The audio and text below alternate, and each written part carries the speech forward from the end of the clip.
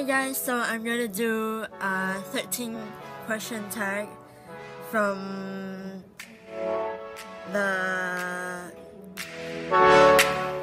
paper. So I'm gonna ask a question and answer it. It's just like a Q&A. So let's get started. What do you order at Starbucks? So last time I my iPad and stuff. Uh, number three is one thing that most people probably wouldn't know about you is uh, Alex, Lauren, Aaron, Kimmy. And number five is what's one food that you cannot live without? Is uh,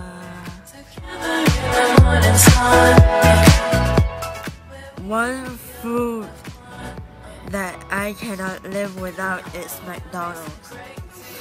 And one of his videos, but you should go check it out.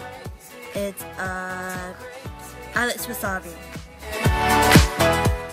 Number seven is what do you like and dislike about the YT community on iTunes I listen is Ariana Grande. But I'm not buying in iTunes though. And number nine, what kind of style would you define yourself as having? Number 11 is my two hobbies is uh, I really like uh, making YouTube videos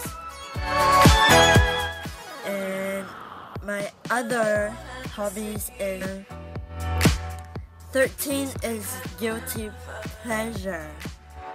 I don't know what guilty pleasure is. Guys, can you comment down in the description below what guilty pleasure is?